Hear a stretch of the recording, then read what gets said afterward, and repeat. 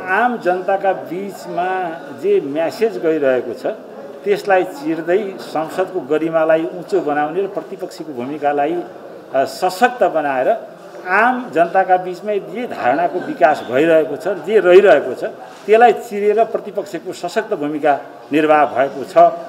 प्रतिपक्षले आफ्नो जिम्मेवारी पुरा गरेको छ भन्ने त्यो उचाइ दिनका निम्ति म क्रियाशील सबैको सबैभन्दा राम्रो। Ratopati dot com.